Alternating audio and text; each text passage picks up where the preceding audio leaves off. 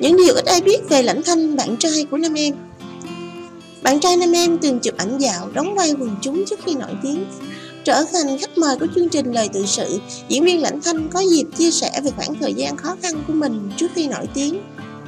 Tâm sự về hành trình theo đuổi sự nghiệp diễn xuất, Lãnh Thanh thừa nhận con đường này không dễ dàng thuận lợi.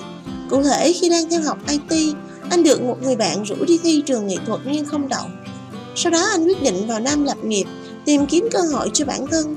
Đó là những ngày đầu tháng 8 năm 2015, tôi vừa ra trường và công việc tài chính không ổn định, gặp nhiều khó khăn. Thời điểm đó tôi còn định về quê kiếm một công việc ổn hơn. Tôi xuống đến sân bay lúc 1 giờ sáng khi trong túi có khoảng 3 triệu đồng. Tài sản của tôi lúc đó không có gì nhiều. Anh tâm sự, sau khi đến thành phố Hồ Chí Minh, Lãnh Thanh ở nhờ nhà một người bạn. Để có thể sống ở vùng đất mới này, anh trải nghiệm nhiều công việc khác nhau như làm trong ekip đoàn phim, làm khán giả game show, chụp ảnh dạo. Anh kể, tôi từng tìm hiểu chụp hình, có một người bạn hướng dẫn cách chụp cho chuyên nghiệp hơn. Bạn tôi cho mượn máy để làm nghề một thời gian. Tôi học được thông số máy ảnh, góc chụp để chụp sự kiện, đám cưới. Sau đó tôi may mắn hơn một xíu khi được đứng trước ống kính nhưng là diễn viên quần chúng.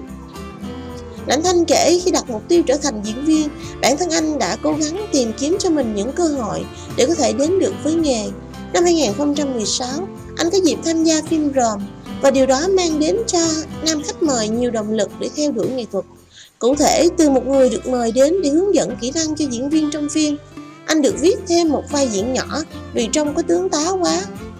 Từ đây, anh nhận ra để có thể trở thành diễn viên, bản thân không ngừng học tập sau một khóa học ở Đà Nẵng, Lãnh Thanh dành thời gian nhiều cho phim, chăm chỉ đi casting để có cơ hội được thử sức qua các vai diễn.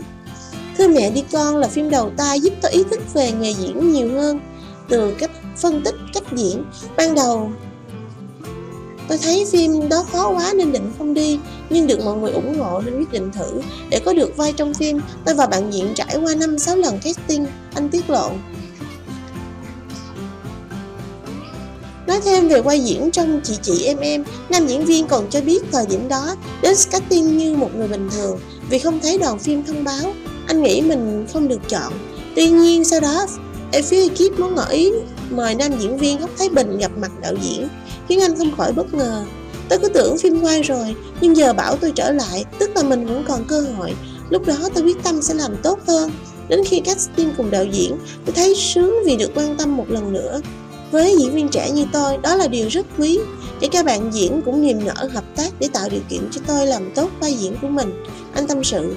Xem lại bộ phim này, Lãnh Thanh cho biết anh hoàn thành được khoảng 70%. Điều đó đòi hỏi bản thân nam diễn viên phải cố gắng hơn nữa trong các dự án tiếp theo.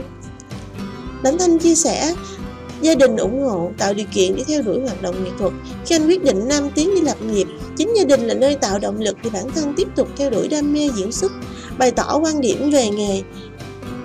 Lãnh Thanh cho rằng một diễn viên chuyên nghiệp phải sáng tạo, có năng lực, cảm xúc cũng như vốn sống để được đạo diễn khai thác. Để trở thành diễn viên, các bạn phải có kỹ thuật. Mình không có thể chơi đến 2-3 giờ sáng, nhưng 4 giờ đi quay được.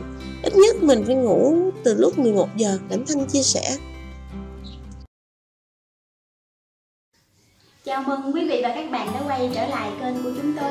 Chúng tôi luôn mong muốn sẽ đem đến cho quý vị và các bạn những giây phút thư giãn thật tuyệt vời. Xin đừng quên ấn nút đăng ký để không bỏ lỡ những tin tức mới. Sau đây, xin mời quý vị và các bạn đến với chuyên mục tin giải trí.